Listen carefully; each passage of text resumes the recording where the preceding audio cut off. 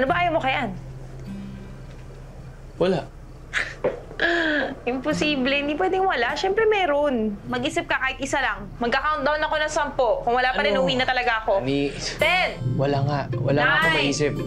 eight, Lani, hindi mo na kailangan mag-countdown. seven, Okay, explain na lang six, ako. ayoko na explain. Isip- Five, four, three, Ano, Sandali lang. 2.75. Lani, Nape-pressure ako. 2.5, Oh, iisipin ko. Okay, sandali lang. One. Ay, naku, ayoko na. Uwi na Okay. talaga ako. Ay, Lani, uwi na sandali lang. talaga Sandali. ako. Okay, okay, sandali lang.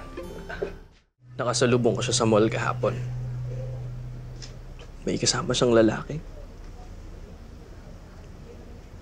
Nagkatinginan kami. So I had no choice but to approach her. No choice? Meron kang choice. Pwede namang umiti ka na lang tapos sumupi ka na. See, that's exactly what she did. She smiled back at me. Tapos nung papalapit na ako sa kanya, naglakad naman siya paalis. See? While you chose to approach, she chose to just walk away. Eh, may kasama siyang lalaki. Alam mo, bago niyang boyfriend. Ayaw niya maging awkward yung situation, kaya siya, kaya siya umalis. Or, baka pwedeng lang din yung ex mo. Hindi siya ganon. Grabe.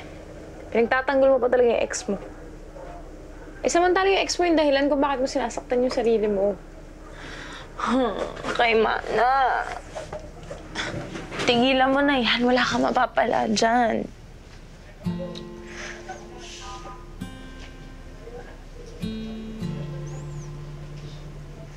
Lani, this is what happens whenever I feel guilt.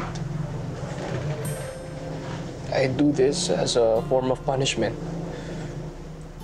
Punishment. Bakit ano ba kasalanan mo? Baka may nagawa akong mali na hindi ko alam. Kaya naghiwalay kami. Baka may topak lang talaga yung ex mo. Kalimutan mo na yun. Kalimutan mo na yun para hindi ka nagkakaganyan.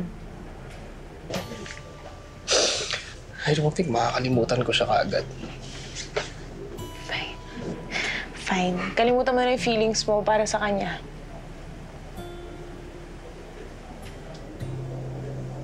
Posible ba yun? Di ba kapag naalala mo yung tao, automatic maalala mo yung feelings mo para sa kanya?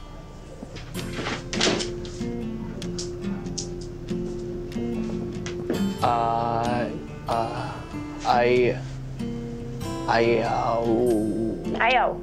Ano bang ayaw mo kay Ann? ah, ha? Di ba pag na-inlove ka sa isang tao, merong parang halo effect? Yung tipong lahat na nakikita mo, lahat ng ginagawa nila maganda, positive. Na kahit gumawa sila ng mali, kahit gumawa sila ng negative, para sa'yo, gina-justify mo pa rin, ini-ignore mo pa rin. What's your point? Ang point ko is, obviously, may halo effect pa si Ann sa'yo, kaya dapat wasakin natin. Mag-isip ka ng mga ayaw mo kay Ann. Ano ba ayaw mo kay Ann? Wala. Imposible. Hindi pwedeng wala. Siyempre meron. Mag-isip ka kahit isa lang. Magka-countdown ako ng sampo. Kung wala pa rin, Ano? uwi na talaga ako. Lani, Ten, wala nga. Wala nga ako Nine. maisip. eight, Lani, hindi mo na kailangan mag-countdown. seven, Okay, explain na lang six, ako. ayoko na explain. Isip- Five, four, three, Ano, Sandali lang. 2.75. Lani, Nape-pressure ako. 2.5, Oh, iisipin ko. Okay, sandali lang. One. Ay, naku, ayoko na. Uwi na Okay. talaga ako. Okay, Ay, Lani, uwi na sandali lang. talaga Sandali. ako. Okay, okay, sandali lang. Okay.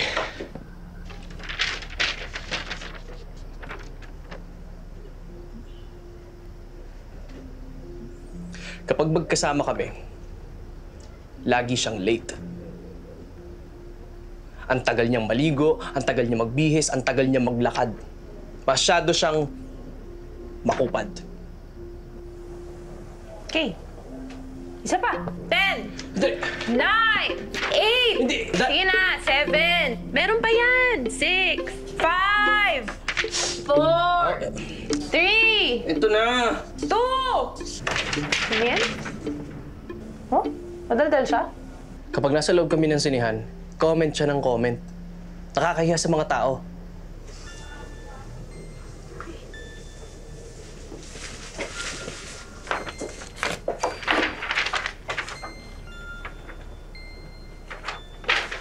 Okay. Isa pa! Ten! Prequel sa Tagalog, no? Mm, nagmamagaling? Yes! Ganun siya, Binsan. Nung nasa Baguio kami, hinahanap namin yung Cinematheque. Pwede naman niya ipagtanong. Pero yung pinipilit niya, alam daw niya. Ayun, isang oras kaming palakad-lakad. Tapos, lagi niya sinasabi na tumataba daw siya. Pero yung gusto lang niyang sabihin, nasabihin ko na hindi siya mataba. Oo, oh, ito mababa talaga. Akin na! Hindi. Well, a bit. Pero, you know, paulit-ulit. Eh kung ayaw niyang tumaba, eh di bawas kain. Tapos, magyaya siyang lumabas. And then, kapag meet mo na siya, may kasamang friend or ibang relative na hindi ko naman kilala. Sige, ko ng ganun. Introvert ako. What? What? What? What? Lumabas yung parts sa washing machine. Di ba nakita? Were you listening?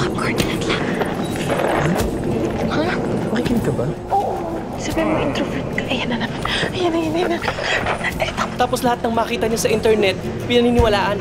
There's this one time, tumawag siya sa akin. Oh. Umiiyak. Sabi niya, Babe, patay na daw si Justin Bieber. Hindi nga. Tapos, eto ka na. Lagi niyang pinapoint out na pawisin ako. Eh, anong magagawa ko? Ang init-init dito sa Pilipinas, hindi ako sanay. Ano mainit sa Hawaii? Well, not in Lanay.